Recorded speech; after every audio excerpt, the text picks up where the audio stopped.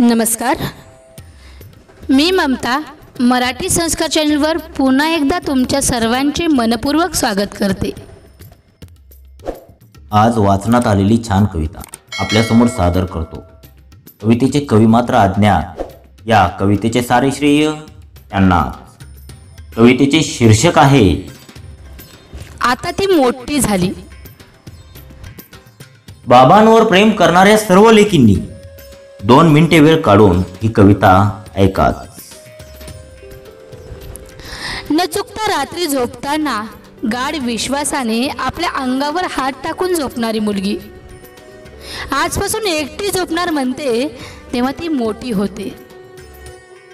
शाळेत जाताना चिमुकल्या बोटांनी हात घट्ट धरणारी मुलगी आज रस्ता ओलांडताना दंड पकडून सांभाळून बाबा असं म्हणते तेव्हा ती मोठी होते. दोन केक आणि आईस्क्रीम खाऊन पण आपल्या वाटणीचा केक हक्काने खाणारी.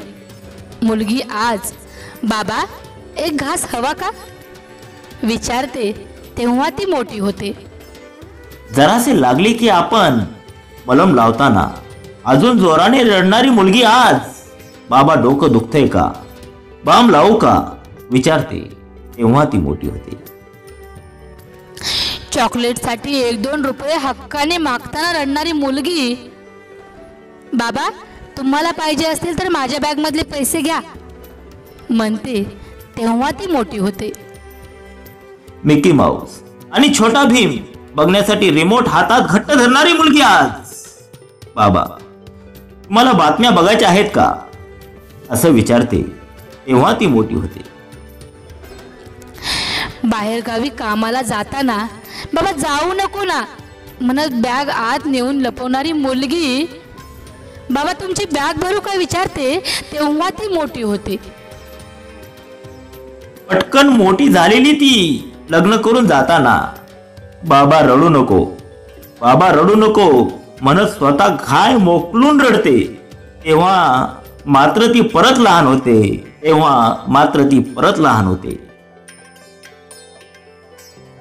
मित्रांनो लग्नाला गेल्यावर नवरा नवरीला भेटाच पण एका व्यक्तीला आवर्जून भेटा.